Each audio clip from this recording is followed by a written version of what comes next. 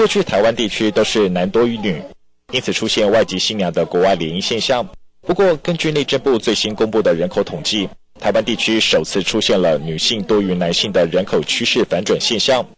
根据内政部统计，到今年十一月底的全国男性人口数有一千一百六十八万三千一百八十七人，至于女性人数是一千一百六十八万四千一百三十三人，人数多于男性。如果以性别比例来看，也就是以女性人数为基准一百来看男性比例，现在台湾的数字开始进入九十九点九九，这个数字比去年同期减少了零点三，也比上个月少了零点零二。内政部预估趋势，未来台湾的女性人数将持续多于男性。内政部次长肖佳琪表示，五都里面，台北市是全国女多于男的典型代表。至于台南市则相反，是唯一男多于女的城市。五都来看哦，五都啊，除了台南市是男性多于女性之外啊，其他都是女多于男。台南市是一百点六六，那其他的四都啊，都是女性多于男性。尤其是台北市，它的性别比是九十二点三九。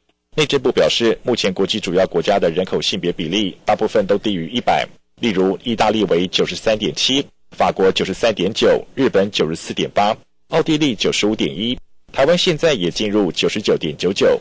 在台湾人口性别比例出现反转下，未来在消费甚至政治投票意向下，都可能出现趋势转变。记者陈宏志在内政部报道。